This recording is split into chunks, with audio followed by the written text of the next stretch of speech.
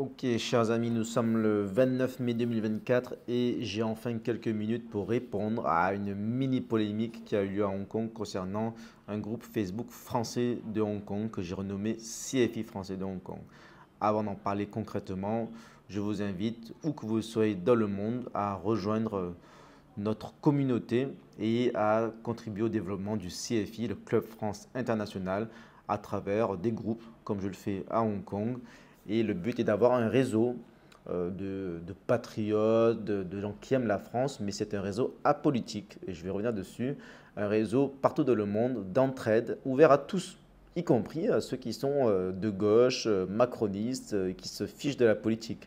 Donc le CFI a trois rôles principaux. Le premier est d'être un réseau qui fait des événements, dîners, apéros, événements sportifs, barbecue, hiking, peu importe. Deuxièmement, un genre de média. Ce n'est pas vraiment un média parce qu'on n'est pas euh, des professionnels, etc. Mais on va dire que c'est un blog, c'est-à-dire qu'on parle de nos membres, on fait des portraits de nos membres ou de nos amis. Et en fait, euh, évidemment, on, suit une certaine ligne éditoriale, euh, même inconsciemment ou, même involontairement. Voilà, mais en réalité, on, interview, on échange avec tout le monde. Donc j'ai des critiques hein, qui me disent que c'est un réseau euh, de droite, même de droite-droite, euh, extrême, etc. Euh, c'est faux, puisque j'ai présenté des candidats macronistes, donc un élu en Malaisie d'ailleurs, qui est Horizon, qui a expliqué pourquoi il fallait voter pour la liste de la majorité présidentielle aux européennes. Et j'ai interviewé aussi Georges Kuzmanovic, qui est un homme de gauche, assumé. Et donc voilà, donc ce n'est pas euh, un, réseau de droite. Euh, mais je n'y peux rien si, par la force des choses, ceux qui, acceptent de me répondre sont majoritairement de droite. Euh, je, pense, j'ai lancé un appel à tout le monde, à tous les représentants de partis politiques, et je n'ai pas eu de réponse de socialistes, d'écologistes, de membres de la, France insoumise pour répondre et échanger avec moi pour comprendre pourquoi ils soutenaient telle ou telle liste pour les élections européennes. Et j'ai même demandé personnellement à, notre ami, euh, collègue, ami euh, conseiller des Français de l'étranger euh, à Hong Kong qui représente la gauche, parce que je voulais avoir quelqu'un de gauche parmi mes, mes interlocuteurs, il ne m'a pas répondu. Voilà, donc cher Pierre-Yves, si tu vois cette vidéo, je t'invite toujours à échanger avec moi en, bonne intelligence, de manière posée, pour échanger nos points de vue, si tu le souhaites, euh, mais de manière euh, euh, enregistrée, etc. Et pour une, vidéo YouTube qui sera diffusée sur ma chaîne et sur le site du CFI. Donc le CFI parle de tout, y compris de la gauche et des macronistes. Voilà, donc ça c'est le deuxième point. Premier point réseau événement, deuxième point média et troisième point business, c'est-à-dire qu'on peut être apporteur d'affaires, on peut mettre en relation différentes personnes et prendre une commission donc c'est commercial. C'est d'ailleurs pourquoi le CFI n'est pas une association euh, d'utilité publique et à but non lucratif, etc. Parce que c'est un business et c'est assumé. Voilà, donc euh, souvent on me critique en disant ceci, cela. Euh, oui, mais le CFI est un réseau privé. Voilà. Donc on peut être apporteur d'affaires ou on peut tout simplement faire des missions pour lesquelles on, est consultant. Le mois dernier, j'étais à Shanghai pour une entreprise membre du CFI qui m'a envoyé là-bas et qui m'a payé pour la mission pour euh, trouver des fournisseurs dans le domaine du plastique recyclé. Voilà, donc euh, euh, quand on dit que le CFI est concurrent avec les associations à but non lucratif comme UFE, ADFE, c'est complètement débile parce que c'est la nature même du CFI est différente, elle est business et encore moins avec les partis politiques. Donc j'ai eu des accusations. D'ailleurs, j'ai même été exclu de Reconquête à cause de ça parce que j'ai créé le CFI. Mais bon, c'était une excuse. Euh, voilà, maintenant, beaucoup savent très bien que euh, c'était une erreur interne du parti. On verra si ça change. Mais d'ailleurs, ce n'est pas mon objectif. Je m'en fiche pour l'instant. Mais en fait, le CFI est ni en concurrence avec les associations euh, qui sont à but non lucratif, ni en concurrence avec les partis politiques. Mais dans la communauté française, dès qu'on voit quelque chose qui semble un petit peu euh, concurrent, polémique, etc., bien, on en fait une polémique et on en fait euh, des, des, commentaires dans tous les sens. Voilà. Mais en tout cas, tout ça pour dire quoi? Si vous êtes expatrié, quel que, quel que soit l'endroit où vous êtes dans le monde, si vous voulez contribuer à la bonne cause, euh, créer un réseau d'entraide pour servir, faire rayonner la France dans le monde, contactez-moi, rejoignez nos équipes. Voilà, ceci est dit. Maintenant, ben, j'ai déjà répondu en partie aux commentaires. Voilà pourquoi je fais cette vidéo, parce que j'ai reçu tellement de commentaires. C'était lundi soir, j'étais avant, c'était avant d'aller à une soirée de gala. et donc, on m'accusait d'avoir changé le nom CFI français de Hong Kong en CFI français de Hong Kong. Ce qui est vrai, c'est que J'utilise un groupe que j'ai créé il y a environ 10 ans, je crois, quand je suis arrivé à Hong Kong, un petit peu après. Je suis à Hong Kong depuis 12 ans. Et en fait, je l'utilise pour communiquer sur le CFI. Voilà, c'est normal parce que c'est mon travail. Je modère le groupe, euh, il y, a du boulot derrière tout ça, ça ne se fait pas pour rien. Et donc, il y a, ben, d'ailleurs, il y a encore un commentaire à l'instant, là, là, il est 18h14, voilà, je le fais en direct. François vient de commenter, je vais dire en direct. Alors, normalement, je, réponds très rarement en direct euh, aux, différents messages, parce que ben, je n'ai pas le temps. Euh, parfois, j'ai des posts euh, X euh, Twitter qui ont des centaines de commentaires. Je ne peux pas répondre à des centaines de commentaires. Donc, même si je faisais ça à temps plein et que je ne dormais pas, je ne pourrais pas. Donc, en général, je réunis tous les commentaires et je réponds en bloc. Donc, qu'est-ce que tu me dis, François? Je lis vraiment en direct, hein, ça fait quelques secondes. Et toi, tu préfères continuer à être malhonnête et te plaindre sur tes réseaux sociaux? Si au moins tu avais répondu à la question directement de manière franche, ça aurait pu conduire à une discussion. Là, ton attitude ne fait que renforcer l'idée que ce sera une perte de temps. Et puis, as-tu, tu as mon nom, je sais très bien que tu sauras me trouver si besoin. Qu'est-ce qu'il raconte là Donc, euh, en fait, voilà, le problème, c'est que dans ce genre de commentaires, on n'avance pas. Donc, euh, je n'ai pas le temps de, répondre, de passer 5 minutes sur chaque commentaire. Euh, voilà, qu'est-ce que tu me dis là, François? Moi, je l'ai proposé parce qu'il fait partie des gens qui se plaignent du changement de nom. Donc moi j'ai dit, bah, écoute, euh, j'ai pas que ça à faire de commenter sur Facebook. Je passe pas ma vie sur Facebook. Et donc euh, viens, on se voit face à face et on fait un débat sur le changement de nom du CFI. Je peux parler du changement de nom du CFI pendant une heure s'il le faut.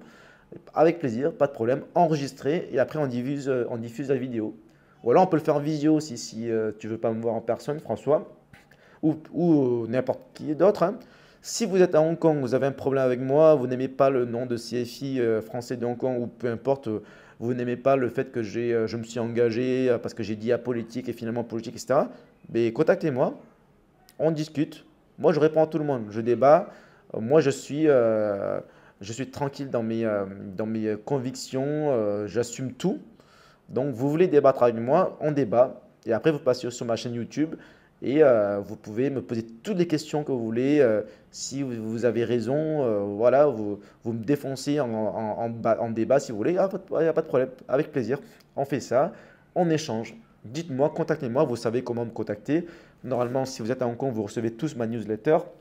Si vous n'êtes pas désinscrit déjà, ou alors, bon, relayez, si vous avez des amis qui veulent me parler en direct, relayez cette information. Moi, je parle avec tout le monde, ou alors par vidéo. Par contre, je ne parle pas au compte anonyme euh, où on voit pas les, euh, on ne sait pas à qui on parle, ça, peut être complètement débile. Donc moi, je, réponds quasiment jamais au compte anonyme. Mais euh, voilà, tout ça pour dire quoi? Voilà, j'ai clarifié. Il y, a, des gens en fait qui sont complètement débiles. Il y, a, une fille, je ne la connais pas, peut-être que je l'ai connue, je ne la reconnais pas, peut-être que je l'ai rencontrée une fois, mais j'ai changé le nom CFI et elle commente et elle dit oui, en fait, le, groupe Facebook est devenu politique. Alors, Expliquez-moi pourquoi il est devenu politique. Alors, parce qu'on voit sur, euh, le, Twitter, le X de, de CFI, qu'il y a des posts qui parlent de reconquête. Et moi, je dis, euh, oui, et alors, c'est quoi le problème? Oui, mais ça parle de reconquête. Ouais, et alors, on, parle de reconquête, ça veut dire qu'on est lié à reconquête? Euh, le Figaro parle de reconquête, ça ne veut pas dire que le Figaro dépend de reconquête. Il parle aussi de, de LR, de RN, des partis de gauche. Voilà, et c'est ce que je fais avec le CFI aussi.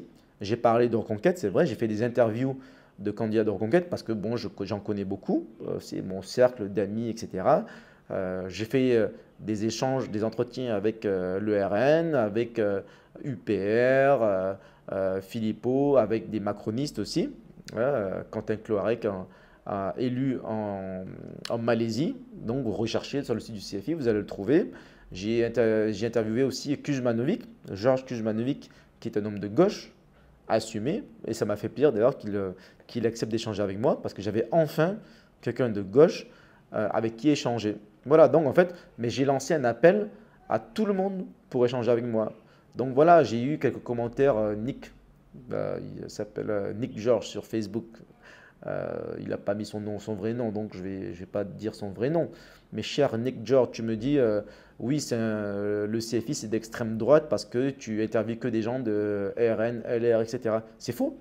C'est faux, puisqu'il y a des, interviews de, des gens de gauche et de macronistes. C'est vrai qu'il n'y en a qu'un. Euh, il y a plein de gens de Reconquête, il y a plein de gens de RN. Il y a seulement un exemple de macroniste et il y a seulement un exemple euh, d'homme de gauche. Mais je ne demande qu'en avoir plus. J'ai lancé un appel à, parler avec tout le monde, y compris euh, les, les, écologistes, les socialistes, les LFI, mais personne n'a accepté. J'ai même demandé à notre conseiller des Français de l'étranger à Hong Kong, un des quatre, un de mes trois collègues, donc un des quatre élus ici, Pierre-Yves Dupuis, Pierre-Yves, cher Pierre-Yves, si tu vois cette vidéo, je t'invite toujours à me répondre. Tu ne m'as pas encore répondu. Pour euh, faire, euh, bah, on se pose autour d'un café, d'une bière et on discute de politique. Moi, je parle avec tout le monde. Moi, j'ai des amis de gauche et de, des macronistes aussi. Et euh, je peux très bien parler en bonne intelligence avec tout le monde. tant que c'est respectueux et qu'en fait, on ne mélange pas tout. Voilà. Après, si des gens voient que le groupe français de Hong Kong est devenu CFI français de Hong Kong et ne le rejoignent pas parce que c'est devenu politique, parce que ça a changé le nom, tant pis. Voilà, qu'est-ce que vous voulez que je vous dise? Euh, J'ai échangé pour des raisons évidentes, vous le savez, voilà, c'est commercial, c'est pour faire de la pub au CFI. Euh, j'ai un groupe qui s'appelle Français d'Asie, Français du Japon, Français de ceci, Français de cela. Et euh, mon objectif est de faire ça partout dans le monde, d'avoir un réseau d'entraide apolitique. Je veux que le CFI soit apolitique. Et donc, c'est pourquoi j'ai renommé ce groupe de Hong Kong que j'ai créé il y a très longtemps parce que voilà, je travaille dessus, c'est mon, mon boulot, c'est mon temps, etc. Et euh, c'est légitime. Mais ça ne veut pas dire que tous les euh, membres du groupe sont membres. Je n'ai pas dit que c'était le groupe euh, CF, membre CFI de Hong Kong.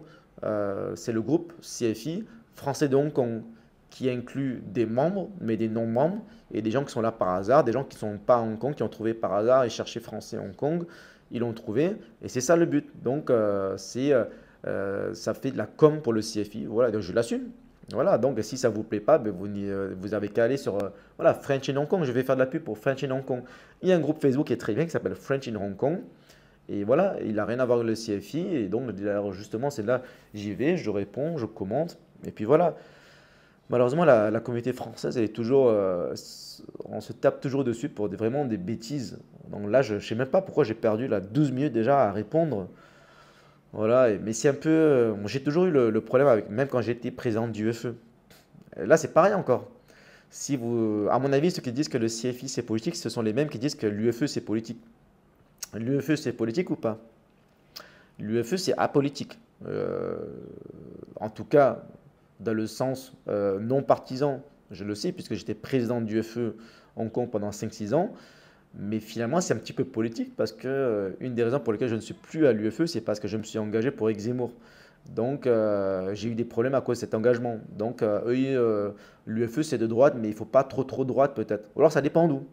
Parce que je sais que mon ami président du UFE à Phuket, en Thaïlande, où Eric Zemmour est largement, largement majoritaire, lui, il n'a pas eu de problème quand il s'est engagé pour Zemmour. Par contre, moi, oui, à Hong Kong. Voilà quoi.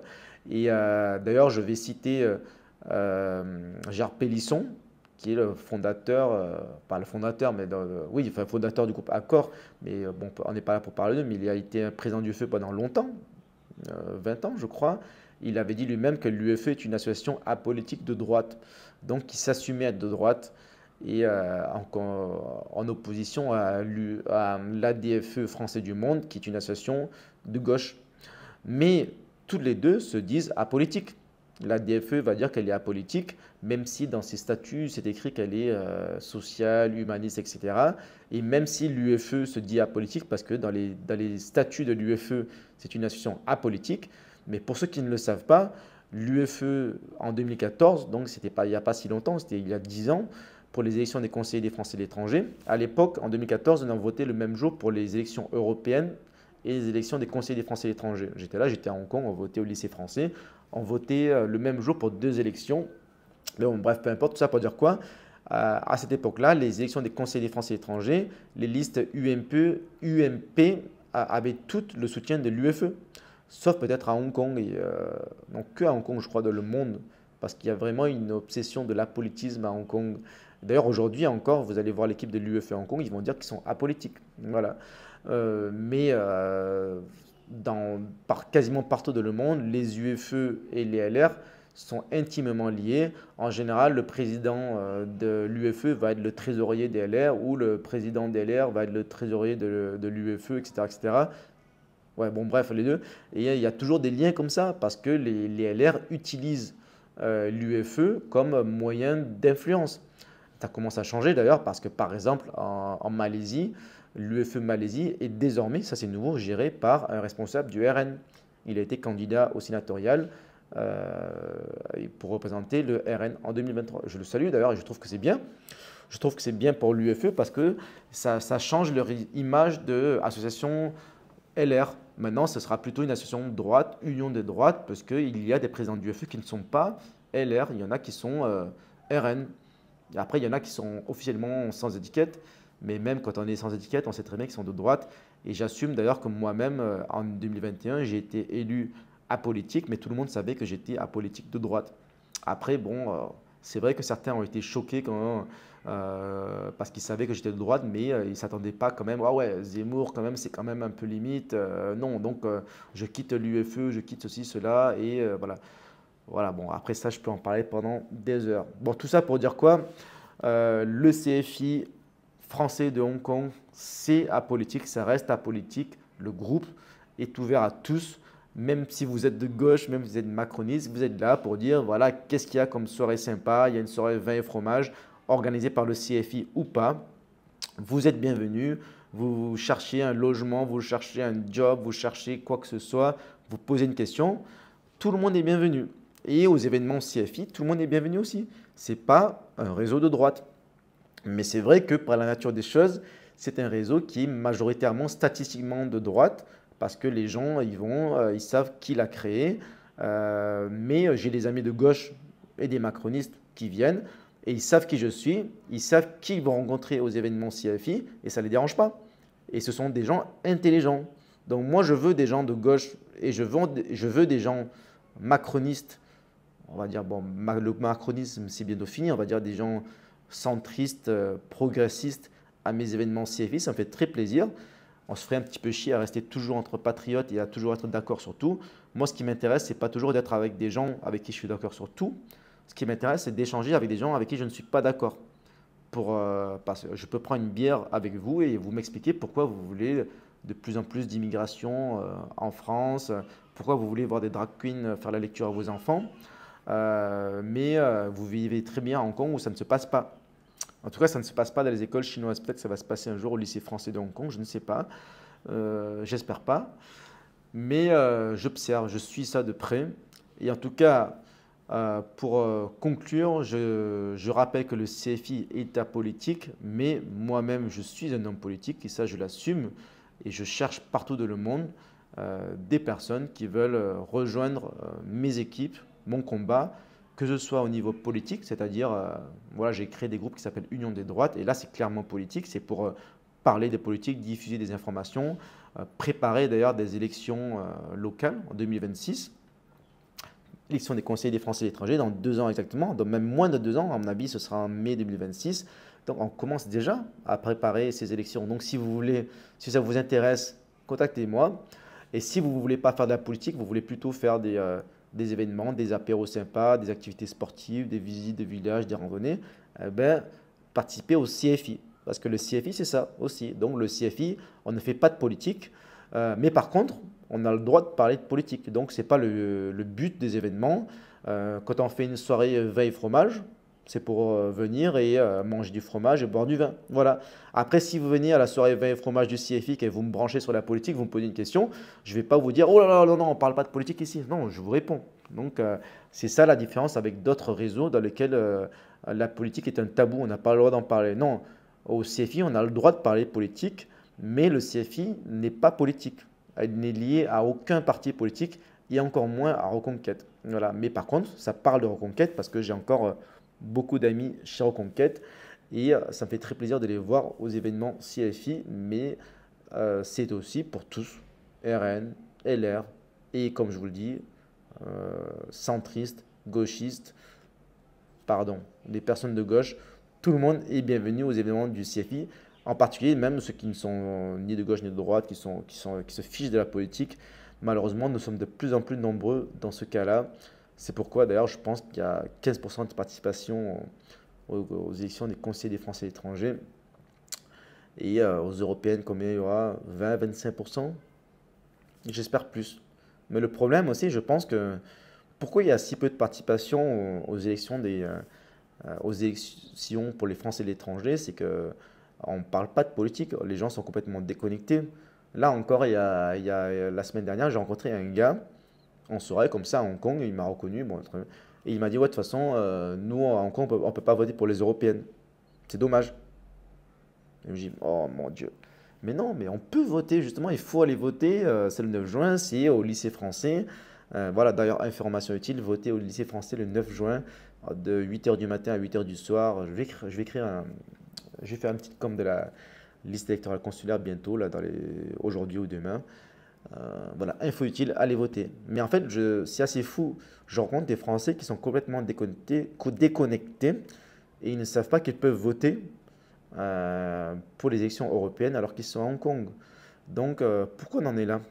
On en est là aussi parce que la politique, je pense, est un tabou pour beaucoup de Français. J'en parlais il n'y a pas longtemps avec euh, le petit journal. Justement, parce que le petit journal, je pense que, en tout cas à Hong Kong, la plupart des, des, sections, des, euh, petits journaux du, petit journal dans le monde parlent de politique. Ils interviewent les candidats aux élections. J'étais candidat aux législatives en, en 2022. Et euh, le petit journal Hong Kong a, refusé de parler de ces élections. Euh, c'est le petit journal de Singapour qui m'a interviewé. Très bien, voilà. Mais en tout cas, j'ai parlé à, Didier, euh, donc, qui est le directeur du petit journal à Hong Kong et même maintenant dans, la, toute la Chine, je crois, qui m'a dit, non, non, moi je ne parle pas de politique. C'est, qu'est-ce que tu m'as dit, Didier? C'est casse-gueule. C'est casse-gueule parce que c'est toujours clivant, ça fait toujours que les gens se fâchent. Et donc, ce n'est pas bon pour le business. Je suis d'accord. Je suis d'accord. Après, euh, voilà, moi, mon objectif, c'est pas de faire que du business. Il n'y a pas que l'argent dans la vie. Euh, moi, je veux contribuer à une bonne cause et je veux informer les gens et je veux qu'ils s'intéressent à la politique et je veux qu'ils aillent voter. Donc, mon objectif, c'est qu'en 2026, on arrête d'avoir 15% de participation. Il faut qu'on ait 20%, 25% ou plus. Voilà. Donc, euh, je pense qu'il faut parler de, politique. Ce n'est pas un sujet tabou. Donc euh, voilà, mais en tout cas, euh, concrètement, j'ai deux engagements. Mon premier engagement est politique. J'ai divers groupes qui s'appellent Union des droites sur euh, Facebook, sur Telegram, sur WhatsApp. Rejoignez ces groupes si vous voulez parler de politique. Et si vous ne voulez pas parler de politique, si vous ne voulez pas faire de politique, mais vous voulez contribuer à la bonne cause, au rayonnement de la France, de le monde, à l'entraide entre Français de l'étranger et leurs amis, parce que d'ailleurs le CFI n'est pas que pour les Français, c'est aussi pour les, les étrangers, en tout cas les Hongkongais, les, les, Thaïlandais en Thaïlande, les Japonais au Japon et les autres expats. Hein. Euh, c'est vraiment euh, pour que les, Français aient des contacts dans tous les domaines, mais avec tout le monde localement. Ce n'est pas un réseau franco-français. Alors déjà, non seulement c'est plutôt business, donc comme je l'ai dit plus tôt, ça n'a rien à voir avec une association à but non lucratif et ça n'a rien à voir avec un parti politique, mais en plus de ça, euh, il y a beaucoup d'étrangers. Moi, à Hong Kong, je ne sais pas, j'ai 30% euh, de mes membres ou plus qui, sont, qui ne sont pas français. Donc, ceux qui me disent que le CFI fait concurrence à, un parti politique, c'est complètement débile. Voilà. Bon, bref, ça fait déjà plus de 20 minutes. Euh, quoi d'autre? Voilà, donc euh, si vous voulez me joindre, contactez-moi. mes coordonnées sont faciles à trouver. Telegram, WhatsApp, email. je suis joignable je vous incite à me contacter pour toute, euh, toute raison, politique ou pas, business, culturel, sportif. Je donne des cours d'ailleurs, j'en profite. Tous les samedis en ce moment à 17h, je fais un cours de self-défense, MMA, boxe et euh, ça va aider. Si vous rentrez en France cet été ou pas, mais si vous rentrez en France et que vous voulez vous apprendre à vous défendre, survivre face aux agressions pour confronter l'insécurité en France, venez vous entraîner. C'est toujours utile. Allez, ciao.